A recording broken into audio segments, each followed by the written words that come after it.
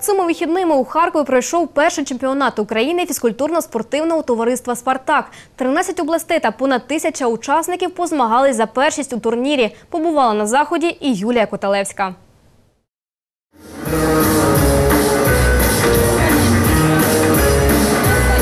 У чемпіонаті України фізкультурно-спортивного товариства «Спартак» взяли участь більше тисячі учасників із 13 областей України. Это большое событие, реально большое событие, поскольку это что-то новое для спортсменов э, танцевальных направлений. Они имеют возможность себя раскрыть именно в спорте. Конечно, мы понимаем, что это красиво, грациозно, безупречно, музыкально. Все красивые слова мы можем говорить о этом виде искусства, но сегодня это еще и плюс и спорт. Альона та Денис виконують спортивно-бальні танці. Багато виступали на різноманітних конкурсах. Участь у цьому чемпіонаті це велика відповідальність, говорять танцівники.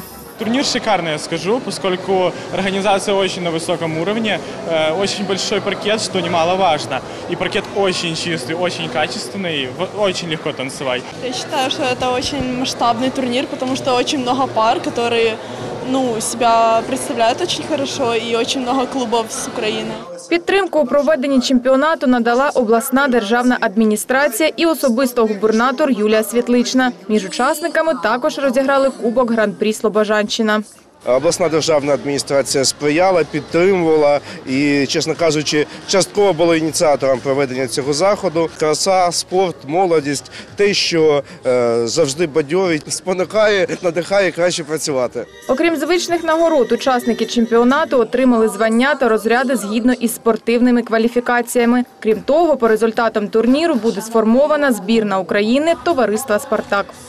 Юлія Котелевська, Дмитро Позняков. Вечірні новини. Всім! Дивіться далі у вечірніх новинах. В Україні триває судова реформа. Співачка Гайтана побувала у Харкові.